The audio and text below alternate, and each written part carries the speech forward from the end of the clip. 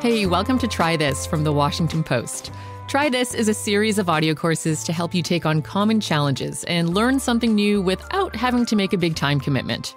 I'm Cristina Quinn, and I'll be learning with you per usual. In this course, we're going to loosen our belts and unpack the mysteries of gut health, specifically the gut microbiome. Because at the end of the day, what you put inside your body affects everything else. If you're new here, welcome. This course will have three classes, aka three episodes. So, in this first episode, we're going to learn what the microbiome is exactly and find out what all those microbes are really up to. In the second episode, we'll find out what happens to your gut microbiome when you start eating certain kinds of food. And in our third and final episode, we're going to give you practical ways to make some changes without causing major upheaval to your life and your wallet and we'll explain why you don't really need to take that probiotic. Okay, class is in session. Let's try this. When I have questions about anything having to do with digestion, I reach out to my favorite intestinal expert, Dr. Trisha Pasricha. I'm an instructor of medicine at Harvard Medical School. My second title would be I'm a gastroenterologist at Beth Israel Deaconess Medical Center. Do you want me to go get a white coat? I've got like I've got all kinds of props. I have a stethoscope, a white coat. I can go get it. No, no, no I believe you. I know you're a real doctor. Dr. Pasricha also has a third title. She's a columnist here at the Washington Post. Her column is called Ask a Doctor. Hey, thanks for meeting with me. Yeah, I'm delighted. You you picked one of my favorite topics. I love everything about the gut, but the microbiome is like especially exciting. What is it specifically that excites you? I think it's so misunderstood. And yet the data is really thrilling and it gives me a lot of hope for the future. And there's a lot of emerging research because there's still a lot that we don't know, right? There's a lot that we don't know. I mean, people have known about the bacteria that live in our bodies for decades and decades, like dating back to the early 1900s and even late 1800s. But in a way, I think the part of it that's new is really understanding the role it plays in our disease and how we might manipulate it towards health. That part yeah. is still newer and still emerging. What exactly is the gut microbiome? Where is it? What's going on there? The gut microbiome, that is what people have estimated to be around the order of about 100 trillion different microbes that live in our guts. Our guts are not unique in our bodies in that in that they have their microbiome. Our skin has a microbiome, our mouths have a microbiome, but our gut microbiome seems to really play an important role in our health and in disease, and we're still kind of trying to figure out what those connections are. Well, I think when people think the gut, they just think of like their abs. In my case, super, super taut abs. Same. so, so tight. No, I was, but the gut is actually, it's, it's not just that. The gut, I think, is an all encompassing term. We're, we're usually talking about the colon, although bacteria live in the small intestine as well. And we're usually not talking about the stomach, though, specifically. Very few bacteria can survive in the acidic environment of the stomach. The stomach is the beginning of digestion, you know, and that's where the food starts to become broken down into tiny particles that then pass into the small intestine. And so by the time food has reached the colon, you know, and it has transitioned to what we might call poop, you really derive all of the nutrients that you want out of it because the small intestine's job, which is in between the stomach and the large intestine or the colon, is to really absorb all of the nutrients and all of the good aspects of whatever you've eaten into the bloodstream and where it can be processed and used by the rest of your body. So it's really the waste that makes it to your large colon. But if you think about it, um, you know, waste is, means like your body the rest of your body or other organs don't have a need for it. But what could make it there is fiber. Fiber is not digested, it's not broken down, it's not absorbed by the body, but it's a wonderful thing. And it's a wonderful thing that microbes live in our colon. They love fiber. As the old saying goes, one man's waste is another microbe's pleasure feast.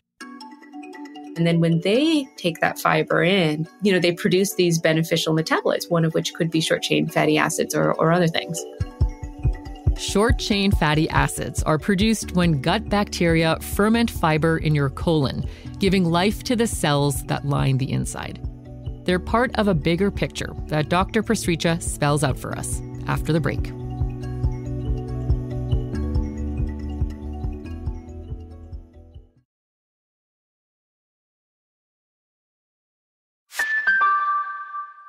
Okay, so when we think about the microbiome, I think it's helpful to think about it maybe in three different parts, right? So there's these things called prebiotics. Um, then there's maybe probiotics, and then there's these like postbiotics. Let's start with prebiotics, which is non digestible food. Fiber is a prebiotic, and we should be eating about 25 to 30 grams of fiber a day. But most of us aren't all of us Americans, we're not getting enough fiber in our diet. So just take, accept that. Whatever way you can increase the amount of fiber in your diet, you'll be better off. But if you really want to take it to the next level, what you want is a diversity in your diet. That means different kinds of fiber sources you would find in veggies, fruits, whole grains, and nuts. The microbes in your gut ferment that fiber, which fosters a super happy and diverse universe of bacteria. So all of these things contribute to the bacteria themselves and what kind of the composition, what strains and species these different bacteria are.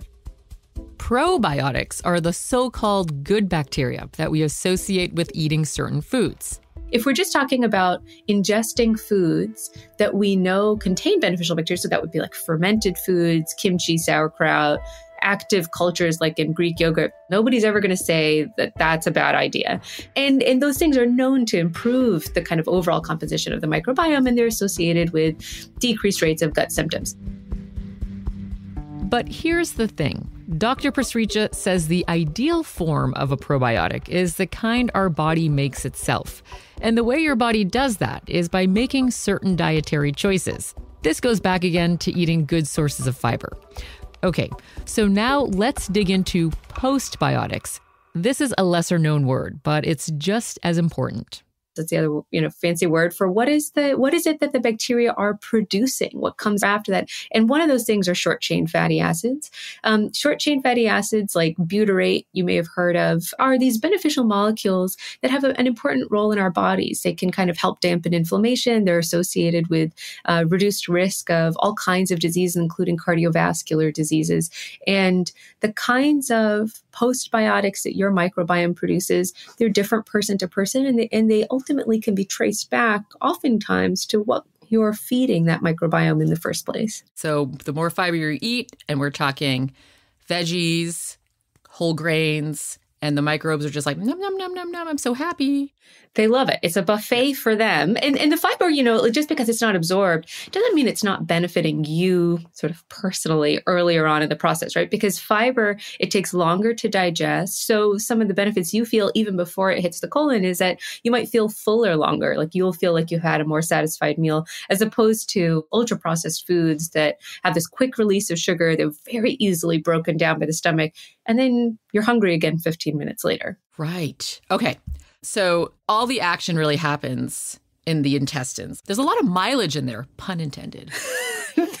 there is. It's long, it's windy. The amount of time it takes for your food to become poop to to exit the body is different from the from me it's different from the other people who might be watching this everyone takes a little bit of a, a different length of time but but it can be on the order of days and so it takes a long time to get absorbed first by the small intestine all the nutrients but then you know we have a little bit more control in when we poop. And so if we, for whatever reason, have decided like we can't afford to poop for the next five hours, we're in this middle of this podcast, we've got to focus.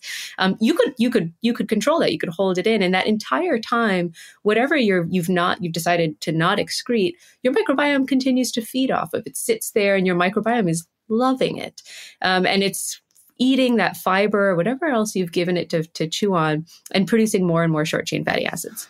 It's a really nice visual. Yeah, and like right before lunch, it's perfect. That's great.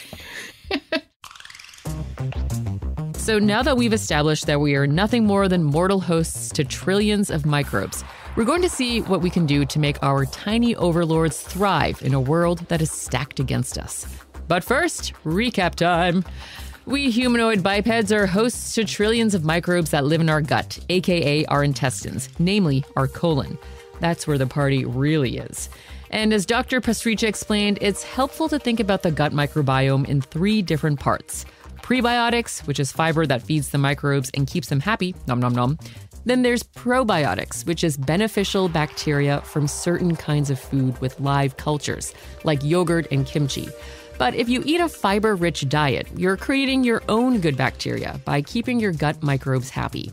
Then there's postbiotics, which is a byproduct of the first two and has compounds that are absorbed through the colon where they can go on to benefit the rest of your organs.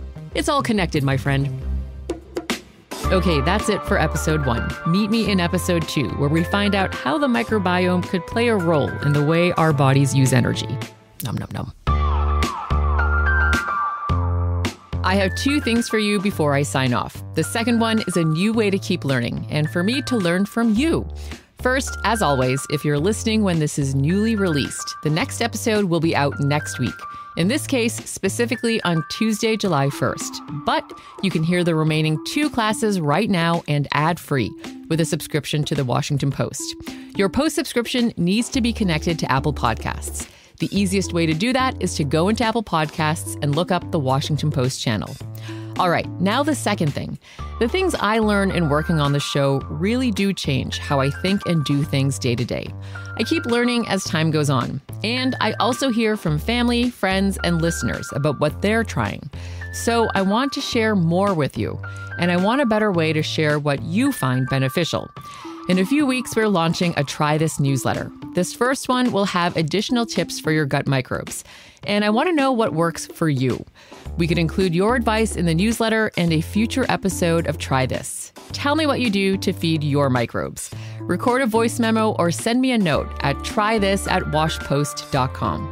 Please be sure to give me your whole name and how you spell it. The email address again is trythis at washpost.com. Thanks for listening, and I'll meet you in class two.